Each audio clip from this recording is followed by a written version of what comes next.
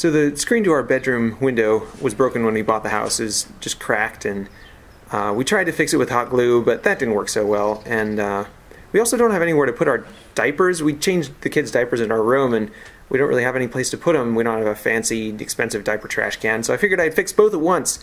So first I screwed a piece of wood onto the screen and uh, had it hang over the edge because I wanted to make a handle so that we could open the window and just toss the diapers right outside.